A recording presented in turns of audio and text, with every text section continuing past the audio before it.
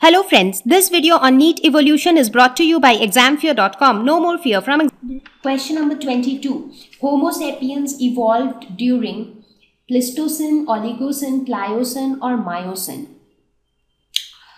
Now let us quickly look at uh, the different periods of the era of modern life. So what was the era of modern life called? Now there are many different eras like we have era of medieval medieval life, we have the era of ancient life, we have the era of modern life. So the era of modern life is called Cenozoic. So this is the era of modern life and this era is further divided into many different periods. So if you start with the modern one which is the most recent period, the recent period is called Holocene. Before that was Pleistocene,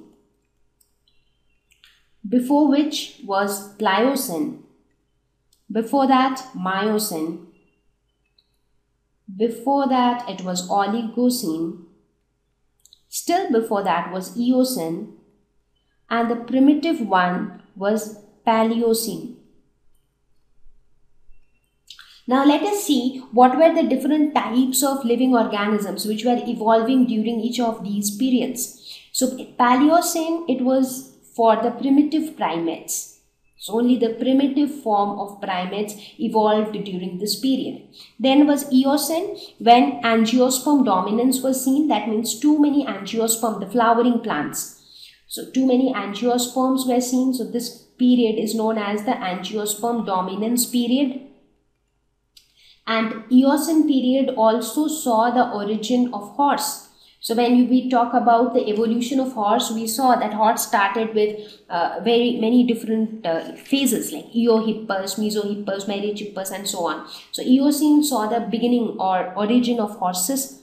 Oligocene saw the origin of apes and apes were like our distant ancestors. Then was Miocene when, when there was continued radiation of mammals and angiosperms. So continuous radiation of mammals and angiosperms. Then was Pliocene and in Pliocene ape-like ancestors of humans were seen. Ape-like ancestors of humans. Pleistocene was the period during which humans appeared. And in the recent period, that is the Holocene period, modern man is the dominant one. So, modern man dominates over all other living forms. Right? So, which was the period when Homo sapiens evolved or humans appeared? So, it was Pleistocene. So, option A is the right one. Question number 23. Which is not a vestigial part in humans? Now, what do we mean by vestigial part? So, vestigial organ refers to that organ which is present in reduced form and do not perform any function in the body.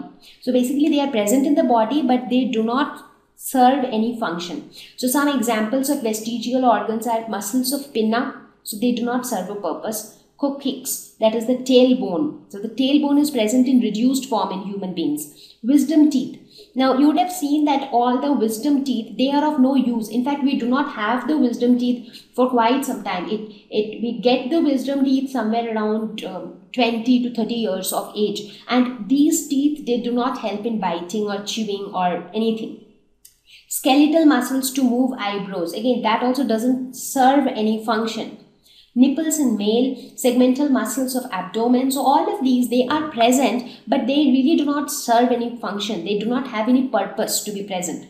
So here you see which is not a vestigial part. Segmental muscles of abdomen. So this is vestigial. Fingernails so fingernails is not vestigial. So fingernails are present, but they also serve a purpose in the body. If you talk about the third molar, third molar is nothing but the wisdom teeth. And wisdom teeth is again vestigial. Coccyx, which is the tailbone, is also vestigial and is present in the reduced form.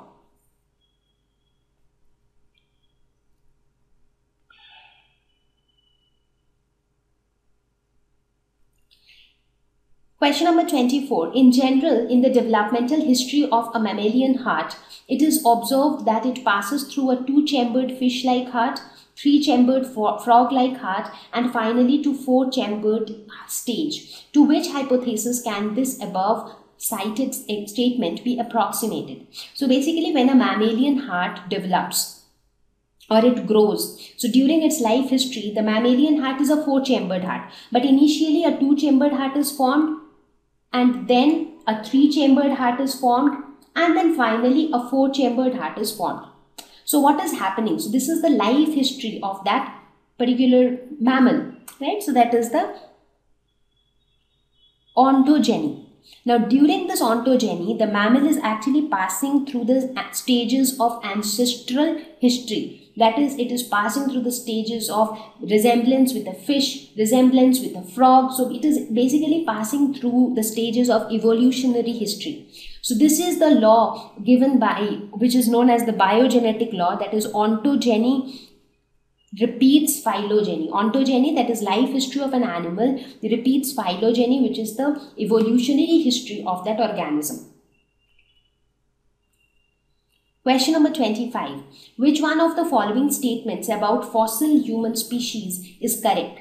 Fossils of Homo neanderthalensis have been found recently in South America. So this is false because uh, Neanderthals were named so because their fossils were found in Neanderthal which is in Germany. So this is false.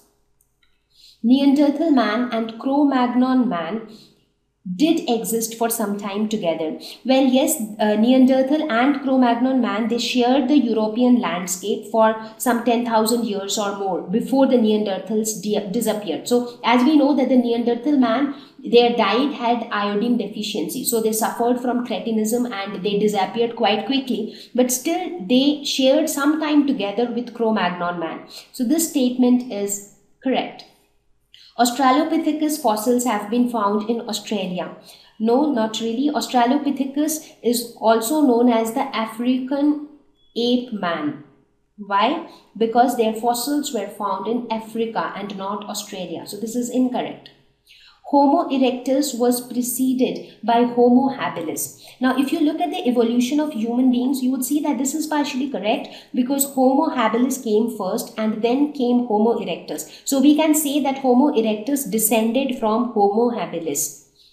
So, that ways both B and D are correct. Thank you. Please visit examfear.com for free quality education. You can learn with a simple four-step learning process wherein you can watch video lessons, you can ask your questions, you can refer notes, and you can take a free online test. We have content for class 6 to 12 on physics, chemistry, mathematics, and biology along with practical videos. So please subscribe to our channel for daily updates. Thank you.